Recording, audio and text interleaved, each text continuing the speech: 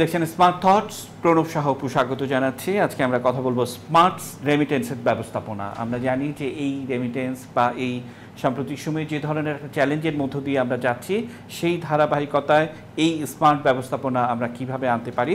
আমরা আমন্ত্রণ জানিয়েছি দুজন অতিথিকে, ডক্টর আহমেদ আল কবির স্যারকে অনেকদিন পর আমরা পেয়েছি। সবাই তাকে চেনেন, অর্থনীতিবিদ এবং বিনিয়োগ বিশ্লেষক, রাজনৈতিক বিশ্লেষণও তার কাছ থেকে শুনি। আমরা অধ্যাপক ডক্টর আইনুল ইসলাম স্যারকে পেয়েছি, তিনি অর্থনীতিবিদ, আমরা সবাই তাকে চিনি। কবির স্যার, আপনাকে দিয়ে শুরু করব যে এই যে এই পরিস্থিতির মধ্য দিয়ে আমরা রেমিটেন্স প্রবাহ যদি আরেকটু প্রফেশনাল ব্যবস্থাপনার মধ্য দিয়ে যাই, আপনার কাছে কি মনে হয়? সেটা কতটা সহজ বা কীভাবে সেটা করতে পারি? ধন্যবাদ আপনাকে। আমি যদি শুরুতে একটু প্রেক্ষাপটটা সার্বিকভাবে বলি, বাংলাদেশের যে অগ্রযাত্রা গত এক দশক থেকে যে দ্রুতগতিতে এগিয়ে যাচ্ছে, এই এগিয়ে যাওয়া অনেকটা বাধাগ্রস্ত হয়েছে কোভিড পরিস্থিতি এবং তার পরবর্তীতে এই যে ইউক্রেন যুদ্ধ। কিন্তু আমাদের অর্থনীতিতে এখন সবচেয়ে বড় সহায়ক শক্তি হিসাবে কাজ করছে আমাদের এক্সপোর্ট এবং রেমিটেন্স এবং পাশাপাশি আরেকটা জিনিস আমাদের ফাউন্ডেশন হচ্ছে কৃষি। এই কৃষির অবস্থা, আমাদের যে ভালো অবস্থা থাকার কারণেই কিন্তু আমরা বাকি ফাউন্ডেশনগুলোকে আমরা এগিয়ে নিয়ে যেতে কোনো সমস্যা হচ্ছে আর রিমিটেন্স আমাদেরকে সবচেয়ে বড় শক্তি যোগাচ্ছে যে কারণটা হচ্ছে রিমিটেন্সের যে প্রবাহ, যেটা এটা নেট ইনকাম এটাতে আর কোনো ধরনের কোনো খরচ নাই, যা আসে তা দেশের স্বার্থেই আসে। এবং আমরা যদি এক্সপোর্টের দিকে যাই এক্সপোর্টের মধ্যে আমাদের র মেটেরিয়ালস বা ওইগুলাকে বা অন্যান্য কিছু, অনেক খরচও আছে পাশাপাশি। কিন্তু রিমিটেন্স এমন জিনিস, যেটা আমাদের মানব সম্পদ বাইরে গিয়ে তাদের মাধ্যমেই এইটা দেশে আসতেছে। এই অবস্থায় আমরা যে বাংলাদেশের রিমিটেন্স প্রবাহটা আমি বলব, দীর্ঘদিন থেকে আমাদের আস্তে আস্তে উন্নতি হচ্ছে। আমাদের প্রথম একটা বড় আমরা উল্লম্ফন দেই, আমরা দুই হাজার নয় সালে যখন রাষ্ট্রনায়ক শেখ হাসিনার নেতৃত্বে যে সরকারটি আসলো সেই কিন্তু প্রথমে জোর দেন এই রিমিটেন্স প্রবাহকে বৃদ্ধি করার জন্য। এবং এই সময়ে আমরা বেশ কিছু যুগান্তকারী পদক্ষেপ নেই। এর ফলেই কিন্তু আপনার প্রোগ্রামে আমি কয়েকবারই বলেছি যেটা হচ্ছে যে এই প্রক্রিয়াটা কিন্তু চলতে থাকবে এবং আমাদের অগ্রগতির ধারাবাহিকতাও চলতে থাকবে। দেখেন, প্রায় পাঁচ বিলিয়নের রিমিটেন্স থেকে আমরা এখন কোন জায়গায় এসে পৌঁছেছি? আমরা বাইশ, তেইশ বিলিয়নে আমরা এখন আছি। এবং এইটাও আমার বিশ্বাস এটা আগামীতে আরও এগিয়ে যাবে। আমরা যদি এর পাশাপাশি কাজ করতে পারি সঠিক নেতৃত্বে স্যার আমার সঙ্গে অধ্যাপক ডক্টর আইনুল ইসলাম রয়েছেন। স্যার এই যে এই মুহূর্তে আমরা আবার দেখছি রেমিটেন্স বাড়ছে সেটা তো বাড়বেই প্রতি বছর। এই কোরবানির সময়টিতে বা ঈদের সময়টিতে আমরা দেখি। এটা একটা আমাদের কাছে দারুণ ব্যাপার যে যে যেখানেই থাকুক প্রবাসীরা তাদের পরিবার পরিজন মা বাবা তারা যেন নির্বিঘ্নে অত্যন্ত সুন্দরভাবে এই উৎসব উদযাপন করতে পারে সেটির জন্য কিন্তু সবসময়ই রেমিটেন্স প্রবাহটা আমাদের সময় বাড়ে। এই বাড়ার ধারাবাহিকতা যদি আমরা অব্যাহত রাখতে পারি, অর্থাৎ প্রপার চ্যানেলে ব্যাংকিং চ্যানেলের মাধ্যমে যদি আমরা পারি, সেটা কিন্তু একটা ব্যালেন্স অফ পেমেন্টে অনেক বড় সহায়ক ভূমিকা পালন করে। আইনু স্যার, একটা স্মার্ট চিন্তাভাবনা কি হতে পারে যে আমরা কীভাবে আমাদের এই রেমিটেন্স রেমিটেন্স ব্যবস্থাপনাটা আরও স্মার্ট করতে পারি? আইনু স্যার। আপনাকে ধন্যবাদ। আসলে রেমিটেন্স যেটি বললেন, যে এই সময়টাতে কিন্তু আসলে রেমিটেন্স আমাদের বাড়ে। সামনে ঈদ, গত ঈদও কিছুটা বেড়েছে এবারও বাড়ছে। এবং পাশাপাশি আরেক কয়েকটা কারণে কিন্তু এবার রেমিটেন্স বাড়ছে। সেটি হচ্ছে কিন্তু যে আমাদের প্রণোদনা যেটা দুই পার্সেন্ট আড়াই পার্সেন্ট দেওয়া হচ্ছে, এটাতেও কিন্তু আমাদের যারা বিভিন্ন জায়গায় ডলার রেখেছিল, তারাও কিন্তু এখন প্রপার চ্যানেলে পাঠাচ্ছে। এবং আরেকটি বিষয় যেটা হচ্ছে যে সরকারের যে কিছু মেজার যে আমাদের বিশেষ করে হুন্ডির ক্ষেত্রে যে আমাদের নিরুৎসাহিত করা এবং আমাদের প্রপার চ্যানেলে অনেকগুলো সুযোগ দেওয়ার কারণে কিন্তু আমাদের এই রেমিটেন্সের ফ্লোটা বাড়ছে। এবং যদি এটাকে অব্যাহত রাখতে হয়, সরকারকে কিন্তু আরও যে যে বাধাগুলো আছে, যে কেন মানুষ আসলে হুন্ডির মাধ্যমে পাঠায়, এবং তাদেরকে যে আমাদের যে রেমিটেন্স যোদ্ধারা আছে, তাদের সুযোগ সুবিধাটা বাড়াতে হবে। যদি এমন মানে পারা যায় যে তাদেরকে রিওয়ার্ডের ব্যবস্থা যদি করা যায় তাহলে বাংলাদেশের যে রেমিটেন্স যেটা আমাদের ডক্টর কবির বললেন যে আসলে আমাদের যে তিনটি খাত আমি বলব, যে রেমিটেন্স খাত এবং এক্সপোর্ট এবং একই সঙ্গে আমাদের কৃষি, এইগুলোকে যদি সেভাবে প্রপারলি তদারকি এবং মানে কি বলব, যে এটাকে যদি অ্যাড্রেস করা যায়, তাহলে আমাদের, এবং আপনি জানেন যে আমাদের প্রায় দেড় কোটির মতন লোক কিন্তু বাইরে যাচ্ছে এবং অনবরত এটা ফ্লোটা কিন্তু বাড়ছে। আমাদের প্রধানমন্ত্রী বিভিন্ন জায়গায় ঘুরে কিন্তু আমাদের কীভাবে আমাদের কর্মসংস্থান, আমাদের জনশক্তিকে সেসব দেশে পাঠানো যায়, এই চুক্তিগুলো করছে, সবকিছু মিলে আমরা একটা ভালো আশা করছি সামনের দিনগুলোতে এটার জন্য যেটা প্রয়োজন। আসলে যারা এটার সঙ্গে যুক্ত আছেন, তারা যদি খুব সুষ্ঠুভাবে এবং সততার সঙ্গে এই কাজগুলো করে, তাহলে আমাদের রেমিটেন্স প্রবাহটা আমাদের বাড়বে বলে আমি আশা জি স্যার অসংখ্য ধন্যবাদ। এবং আপনি বলছিলেন যে দেড় কোটিরও বেশি প্রবাসীরা আমাদের আছেন এবং এটি একটি আমাদের অসম্ভব রকমের শক্ত ভিত আমি বলব। কারণ প্রতিনিয়তই আহ, ঝড় উঠুক ঝঞ্ঝা উঠুক যত বিপর্যস্ত পরিস্থিতি থাকুক তারা কিন্তু সবার আগে এই সাপোর্টটা আমাদেরকে দিয়ে যান। আলকবির স্যার এই সংখ্যা আরও কীভাবে বাড়াতে পারি সেটা নিয়ে আমি আপনার কাছ থেকে শুনব। আম, একদম ছোট্ট একটা বিরতি নিয়ে ঘুরে এসে আপনার কাছ থেকে এটা একটু শোনার চেষ্টা করব। দর্শক এই মুহূর্তে নিচ্ছি ছোট্ট বিরতি আমাদের সঙ্গেই থাকুন।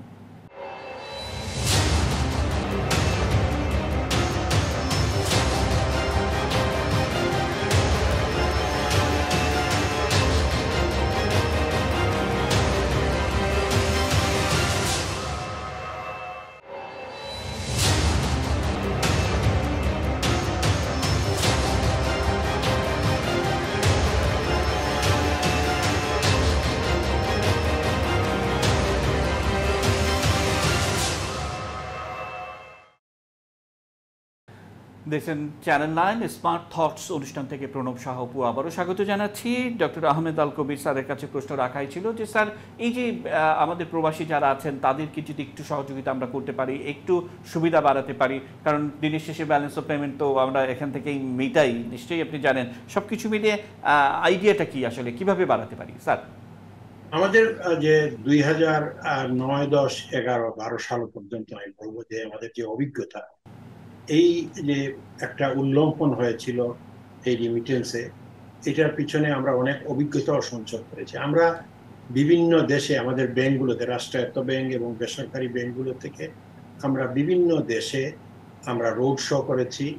আমরা বিভিন্ন প্রতিষ্ঠানের সাথে ব্যক্তিগত পর্যায়ে ব্যাংকগুলো উদ্যোগ নিয়ে বিভিন্ন দেশে সফর করে, বিভিন্ন ওই দেশের ব্যাংকগুলোর সাথে আলাপ আলোচনা করে কীভাবে সহযোগিতা সহযোগিতা করতে পারি তাদের কাছে রিমিটেন্স উৎসাহী। মানুষজন যারা বিদেশে থাকে, তারা চায় একটা সহজ উপায়ে এবং নিরাপদ উপায়ে পাঠাতে। তখন কি, এবং তখনই লোকজন হুন্ডির আশ্রয় নেয়, যখন জেরে যে কোনো সহজ উপায় নাই ব্যাংকিং খাতে তারা পাঠাতে পারে না। অতএব এই দুইটা জিনিসের প্রতি যদি আমরা যদি দৃষ্টি দিই, সহজীকরণ কীভাবে করব, যে পুরা রিমিটেন্স পদ্ধতিটাকে এই দিকে যদি দৃষ্টি দিতে পারি, তো এইটা একটা উপকারে আসবে। আর আরেকটা হচ্ছে তাদের দাঁড়গোড়ায়, যারা পাঠাবে তাদের দাঁড়গোড়ায়। তারা কারণ ক্লাস্টার ওয়েতে পার্টিকুলারলি মিডিল ইস্ট বা অন্যান্য দেশে বিভিন্ন লোকেশনে আছে। আর ইউরোপ আমেরিকাতে যেটা ঘটছে, এটাকেও বাস্তবে চিন্তার মধ্যে নিতে হবে। এখন প্রত্যেকটা দেশে ইনফ্লেশন হাই এবং তারা সকলেই পদক্ষেপ নিচ্ছে ইনফ্লেশন কমানোর জন্য। এর জন্য ইন্টারেস্ট রেট বাড়াচ্ছে। এবং ইন্টারেস্ট রেট বাড়ানোয় তারাও এখানে উৎসাহিত করছে তাদের দেশে টাকাগুলোকে ডিপোজিট করে নিয়ে রাখার জন্য। রাখার জন্য। হাই ইন্টারেস্ট দিয়ে। এতে করে অনেকেই হয়তো তার ঘরের কাছেই একটা ভালো ইন্টারেস্টে টাকা রাখার একটা সুযোগ পাচ্ছে। এই সুযোগটা পাওয়ায় কিন্তু সমস্যাটা আমাদের দিকে হচ্ছে। যেটা হচ্ছে যে আমাদের এই দিকে আগে যে একটা লোভনীয় ইয়ে যে আমাদের এখানে যে ইন্টারেস্ট রেট পায় ওইখানে ওইটা পায় না। এইটা অনেকটা কিছুটা বাধাগ্রস্ত হয়েছে। কিন্তু এই বাধা কোনো বড় বাধা না আমরা যদি আমাদের বাংলাদেশের যারা অরিজিন প্রবাসী যারা আছে, তারা কিন্তু খুবই মানে হাইয়েস্ট লেভেলে পেট্রিয়ট তারা তাদের দেশকে ভালোবাসে এবং দেশেই টাকা পাঠাতে চায়, দেশেই টাকা রাখতে চায় এবং তাদেরকে যদি ওই ফেসিলিটেশনটা যেটা ব্যাংকগুলা ওই সময়ে করছে বা এখনও কিছু কিছু ব্যাংক করছে, আমার মনে হয় ওই প্রক্রিয়াটাকে সরকারিভাবে উৎসাহিত করা যে বিভিন্ন ব্যাংকে ওই বিদেশি ব্যাংকগুলোর সাথে বা যাদের সাথে আমাদের রিমিটেন্স মেকানিজম আছে, তাদের সাথে যদি একটা কীভাবে আরও সহজীকরণ করা যায়, কীভাবে আমাদের ওই দেশের মানুষগুলো, যেমন সৌদি আরবই হোক বা মিডল ইস্টের অন্যান্য কোনো দেশই হোক এই দেশগুলোর থেকে যে টাকা পাঠানো হয়, আমাদের সৌদি আরব হচ্ছে আমাদের সবচেয়ে বেশি মানে আমাদেরকে ওইখানে চিন্তা করতে হবে যে প্রত্যেকটা এলাকায় যেন আমাদের এই ব্যাংকগুলোর তাদের যে আউটলেট বা যাদের সাথে যেসব মানি এক্সচেঞ্জের সাথে বা ব্যাংকের সাথে তাদের ট্রানজ্যাকশন আছে, ওইটাকে কীভাবে আরও সহজীকরণ করে করা যায়? এই কাজটি করতে পারলে, এইদিকে আমাদের এন্ডে যেটা করা হয়েছে, যেটা হলো যে একটা ইনসেন্টিভ করা হয়েছে। আমি মনে করি বর্তমান মুহূর্তে, বর্তমানে যদি আরও যদি উৎসাহিত করে, এই ইনসেন্টিভকে যদি একটা ইনভেস্টমেন্ট ধরে নিয়ে বা আমাদের প্রবাসীদেরকে এটাকে যে- যে দুই আড়াই পার্সেন্ট আছে, এটাকে যদি আমার মতে চার পার্সেন্ট করা হয়, এটাতে ক্ষতি হবে না পরে লিমিটেড টাইম বলা হইতে পারে, যেটা হইতেছে যে আমাদের লিন পিরিয়ড হচ্ছে যে সাধারণত জুলাই, অগাস্ট, সেপ্টেম্বরে, এই যে ঈদের আগে, দুই ঈদের মাঝখানে, আবার আরও আগে, এইসব লিন পিরিয়ডগুলোতে আমরা ইজিলি ইনসেন্টিভাইজ করতে পারি। ওই বিশেষ অফার যেরকমভাবে এই সময়ে যদি টাকা পাঠান তে আরও এক পার্সেন্ট বেশি পাবেন। তাহলে স্যার সারা বছর টাকা জমিয়ে রাখবে ঈদের সময় শুধু রেমিটেন্স আসবে অন্য সময় না আমি ঈদের সময় বলছি না। আমি আমি ঈদের সময় বলছি না। লিন পিরিয়ড যে সময় কমে যায় রিমিটেন্স যেমন আমাদের দুই হাজার বিশ সবচেয়ে গত দশ বারো বছরের মধ্যে সবচেয়ে কম সেপ্টেম্বর সেপ্টেম্বর দুই হাজার সতেরো সালে না আঠারো সতেরো আঠারো সালে এক সময় হয়েছিল। এই যে হ্যাঁ এই যে কম হইল ওই সময়টা যদি আগে যদি আমরা প্রজেকশনের উপরে বা ট্রেন্ডের উপরে নির্ভর করে, ওই সময়গুলোকে যদি আমরা ইনসেন্টিভাইজ করি, যে লিন পিরিয়ড পিক পিরিয়ড আছে, ঈদ, পূজা পার্বণ, তখন আমাদের রিমিটেন্স বেশি আসে। That's quite that's one side of it আর যে সময় লিন পিরিয়ড যখন রিমিটেন্স কমে যায় যেসব মাছগুলোতে সম্ভাবনা থাকে, যেমন ইলিশ মাছের যেরকম করেন, যে ইলিশের একটা সময় আমরা বন্ধ করে দিই, আবার আরেক সময় বাড়ে। ব্যবসাকেও এইরকম ভাবে নিতে হবে। জি স্যার আমি আসব। আইনুল স্যার আপনার কাছে একটু আসতে চাই। স্যার একটা বিষয় যে সাম্প্রতিক সময়ে আমরা দেখছি দেখছি যে সুইচ ব্যাংক সেই সুইস ব্যাংকের টাকা বাংলাদেশে আগে যেমন খবরের কাগজে শিরোনাম হতো যে এত হাজার কোটি টাকা সুইস ব্যাংকে বাঙালিরা পাচার করেছে টরেছে এসব আমরা দেখতাম, বেশ কয়েক বছর ধরে বা আরও বেশি সময় ধরে দেখছিলাম কিন্তু এবার শিরোনামটি উল্টো যে সুইস ব্যাংকে যত বাংলাদেশিদের টাকা ছিল, সেগুলো সব উঠিয়ে তারা নিয়ে গেছে, ইত্যাদি ইত্যাদি একটা ব্যাপার। এখন আমার প্রশ্ন হচ্ছে, নানা কারণে ব্যাংক ব্যবস্থাপনা বা ব্যাংক বন্ধ হয়ে যাওয়া, সেগুলো নিয়ে প্রায়শই আমি আপনি কথা বলি, এই ধারাবাহিকতায় এই অর্থ যেগুলো তুলে নেওয়া যাওয়া হচ্ছে, সেটা কোথায় যাচ্ছে? অনেকেই বলছেন নিরাপদ গন্তব্য হিসেবে সেটি দুবাইতে যাচ্ছে। আসলে কি? আপনার কাছ থেকে একটু শুনব। একদম ছোট্ট একটা বিরতি নিয়ে নিচ্ছে। ছোট্ট বিরতি, আমাদের সঙ্গে থাকুন।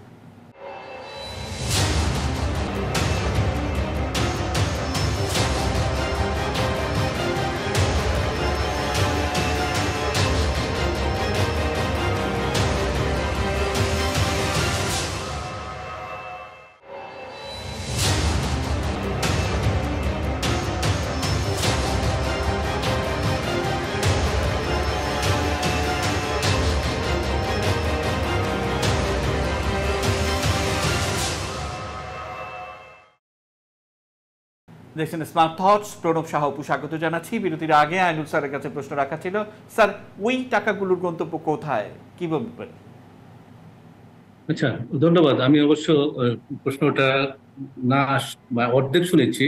তারপরেও যেটা আমি বুঝছি যে আসলে সুইস ব্যাংকের টাকা যাচ্ছে কোথায়। প্রায় নাইনটি ফোর পার্সেন্ট অলরেডি এক বছরের মধ্যে কিন্তু আমাদের আমানতকারীরা এটাকে সরিয়ে নিয়েছে। আসলে বিষয়টা আমিও কিছুটা মানে লিটারেচার দেখলাম, যে কয়েকদিন থেকে এই প্রশ্নটা আসছে রিপোর্টটাও দেখলাম। সেখানে যেটা আমি দেখছি সেখানে হচ্ছে যে বাংলাদেশিরা যেটা করছে, সেটার অন্যতম কারণ ডলার সংকট। শুধু ব্যক্তিগতভাবেই তো আমানতটা রাখে না ব্যাংক কিছু ব্যাংকিং সেক্টরেও কিন্তু কিছু ব্যাংকও টাকা রাখে। কিন্তু গত বছর আমাদের কিন্তু ডলার সংকটের কারণে এই ব্যাংকগুলো কিন্তু এই ডলারগুলোকে উঠিয়ে নিতে হয়েছে। এটা একটা অন্যতম কারণ। আর দ্বিতীয় যেটা, যারা আসলে এই কি বলব আমি যে অসৎ উপায়ে আসলে টাকাটা নিয়ে গিয়ে ওখানে রাখে, তাদের মধ্যে একটা ভয় কাজ করছে। যে যে সরকার হয়তোবা নামগুলো চাইতে পারে, হয়তোবা সরকার অন্যান্য মেজার নিতে পারে, সে কারণে কিন্তু তারা এই আমানতটাকে তারা উঠিয়ে উঠিয়ে উঠিয়ে ফেলছে। এই দুটো কারণ বাংলাদেশিদের জন্য। নিরাপদ, আপাতত মনে করছে যে, নিরাপদ সুইস ব্যাংকের দিকে সবারই নজর। সুতরাং সেখানে নিরাপদ নয়। সে কারণে তারা অন্য কোনো রাখছে, কোথায় রাখছে, সেটা আমি দুবাইয়ের কথা পরে আসছি।